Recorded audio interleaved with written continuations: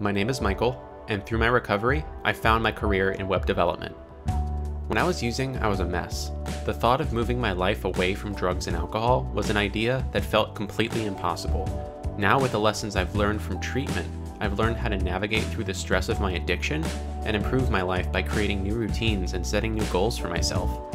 My name is Michael, and I'm 14 months clean. If you or a loved one are struggling with addiction, call Zinnia Healing to learn about treatment options.